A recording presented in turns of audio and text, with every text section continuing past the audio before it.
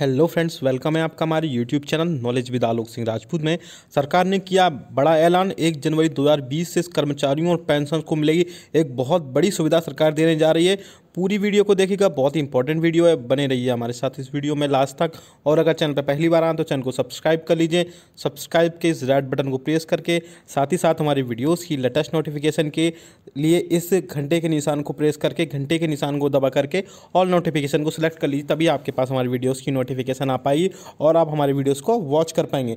चलिए आपको सीधा लेके चलते हैं उस न्यूज़ पर। आप देख सकते हैं कर्मचारी भविष्य निधि संगठन ईपीएफओ ने कर्मचारी पेंशन योजना के तहत पेंशन कोष से एक मुफ़्त आंशिक निकासी यानी कम्यूटेशन की सुविधा एक जनवरी से लागू करने का ऐलान किया है। इस सुविधा से 6.3 लाख पेंशन वाले रिटायर्ड कर्मचारियों को लाभ मिल सकेगा। श्रम मंत्रालय ने इसके संबंध में निर्देश भी जारी कर दिए हैं। दो हज़ार नौ के 2009 से वापस ली थी ये व्यवस्था। ईपीएफ ने 2009 में पेंशन मद में से किसी निकासी के प्रावधान को वापस ले लिया था।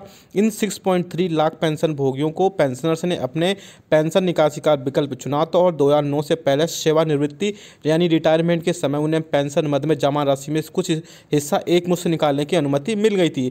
एक जनवरी को जारी होगी अधिसूचना। मीडिया रिपोर्ट्स की माने तो मीडिया रिपोर्ट्स के मुताबिक श्रम मंत्रालय कर्मचारी पेंशन योजना ईपीएस के तहत कम्यूटेशन सुविधा लागू करने के ईपीएफओ के फैसले को लागू करने को लेकर एक जनवरी 2020 को अधिसूचना जारी करेगी क्या है ये सुविधा का लाभ? इस सुविधा के तहत पेंशन धारक को पेंशन का एक हिस्सा पहले ही मिल जाता है। यह पैसा एक मुफ़्त दिया जाता है। उसके बाद अगले पंद्रह साल के लिए उनकी मासिक पेंशन में से एक तिहाई की कटौती की जाती है।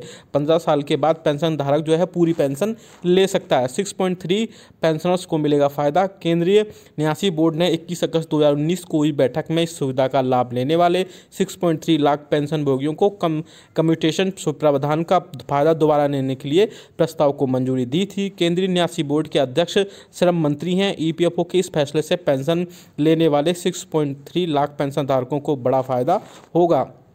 ईपीएफओ ने ईपीएफओ की समिति ने की थी सिफारिश। ईपीएफओ की एक समिति ने आंशिक निकासी के पंद्रह साल बाद पेंशन राशि बहाल करने को लेकर ईपीएफसी 95 के संशोधन में सिफारिश की थी। पेंशन कम्यू, कम्यूटेशन को बहाल करने की मांग की थी। इससे पहले ईपीएस 95 सदस्यों को 10 साल के लिए पेंशन मद में से एक तही राशि निकालने की अनुमति थी। इसे पंद्रह साल बाद बहाल किया गया। यह सुविधा सरकारी कर्मचारियों के लिए पहले से ही चली आ रही है। तो बड़ी खबर है, उन कम्यूटे, उन कर्मचारियों के लिए उन पेंशन पेंशनर्स के लिए अब जो है सभी जो six point three lakh pension पाने वाले रिटायर कर्मचारियों को अब उनको जो है आप देख सकते हैं यहाँ पे क्लियर मेंशन किया गया है कि अब उनको जो है पहले दस साल के लिए जो एक तिहाई राशि निकालने की अनुमति थी, लेकिन अब जो है पंद्रह साल बाद निकालने की पूरी बहाल किया गया है ये सुविधा को।